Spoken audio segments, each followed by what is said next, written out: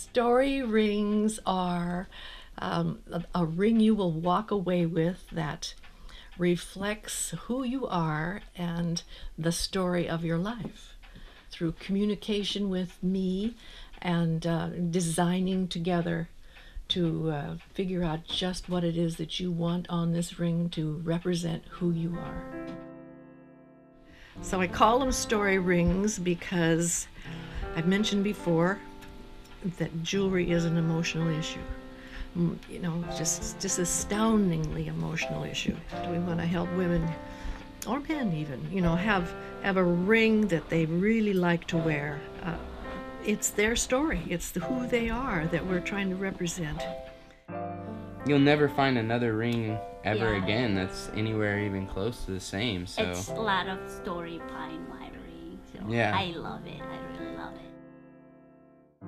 It's a ring she'd be able to pass down, and you know, our our daughter, Kaya, will be able to have it eventually one day. And and as for mine, that there's you know there's no way I could have gotten that kind of quality and craftsmanship and uniqueness anywhere else. So I start out with with carving a wax and putting the pictures on it that they like. Did a ring for a woman that uh, represented her her father. So they're they're kind of memorial rings too. That was that was a neat experience.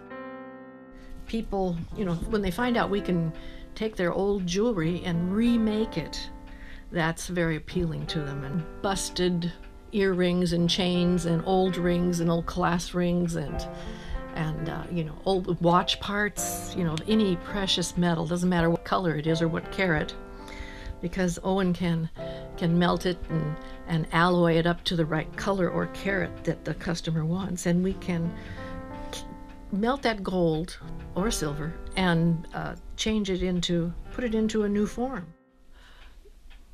You'll never get this anyplace else.